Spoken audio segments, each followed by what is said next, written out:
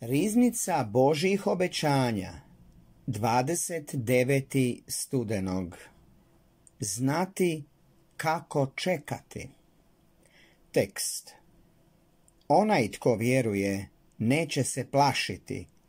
Drugi prijevod kaže neće žuriti. Izaija 28. 16. redak. Komentar on će žuriti da izvršava Jehovine zapovjedi, ali on ne smije žuriti u nestrpljivom ili neprimjerenom smislu.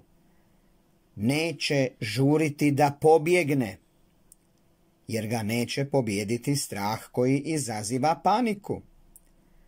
Dok drugi lete tamo amo kao da su izgubili razum, vjernik će biti tih, miran i promišljen i moći će mudro da postupi u času nevolje. On neće žuriti u svojim očekivanjima, žudeći za dobrim stvarima odmah i na licu mjesta.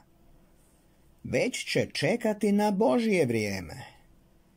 Neki očajnički žure da imaju vrapca u ruci, jer smatraju da je Jehovino obećanje kao golub na grani i da vjerovatno nije namenjeno njima, ali vjernici znaju kako da čekaju.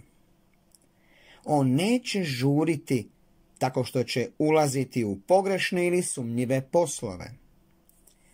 Nevjera mora da čini nešto i na taj način radi na svoju štetu. Ali vjera ne žuri više nego što je dobro. I na taj način nije primorana da se tužno vraća nazad putem kojim je bezglavo žurila. Kakvo je stanje sa mnom? Da li vjerujem i tako se držim tempa hoda primjerenog vjerniku, a to je hodanje sa Bogom? Mir lepršava dušo, odmaraj se u Jehovi i strpljivo čekaj na njega.